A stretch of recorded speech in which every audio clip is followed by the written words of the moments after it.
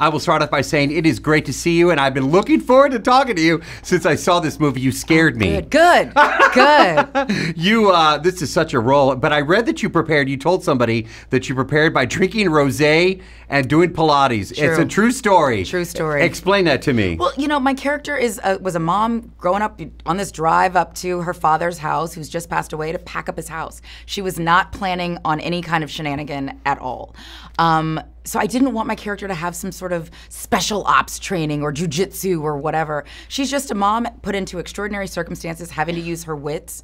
Um, so I just wanted to be loose. Wanted to make sure this hip was loose for the, you know, when I had to run or I had to, you know, throw a punch.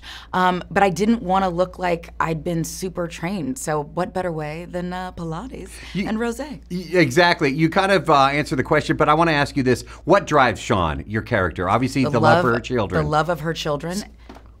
Did I get it? You got it. Okay. Ding. Um, you know, and the fact that probably, as most women, she has been underestimated her entire life, and the bad guys picked the wrong one. You know what I mean? They were like, "She's just a mom. She's just a woman. What is she gonna do?" And she was like, "I got you. I got you." You also serve as a producer on Yeah. this project, which Yeah. congratulations on that one. Great film uh, to, to do that with. But what inspired you to take on that role?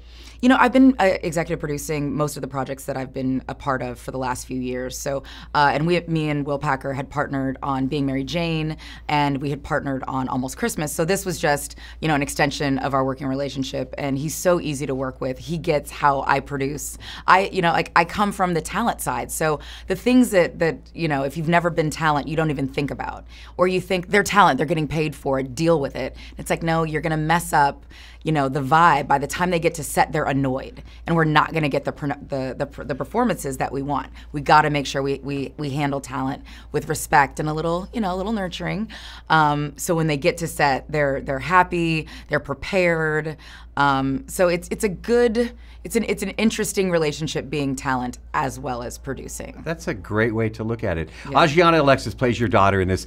We know her from Empire, and we saw her in Acrimony. What makes her the perfect cast to play this role? Because I, I think she's perfect, and she's tough too. No, and I'm going to ask her that question as well. She's a tough one. No, I saw her in 13 Reasons Why. And I loved her character in 13 Reasons Why. I loved her innocence, but also there's that little flash in her eye where you're like, oh, tell me more, dish. Um, but I also love that she's grown, at who but looks very young. So we didn't actually have to have the constraints of of um, you know kids' schedules because the little boy could only work just you know a few hours at a Right. time. So with uh, with Ajiona, you know, she could work the same amount of time as as uh, you know other adults, which is how I started my career as a grown ass person play you know playing 15 year olds, and it's like, oh, I can stay here all night. oh, that's okay, okay, now I get it.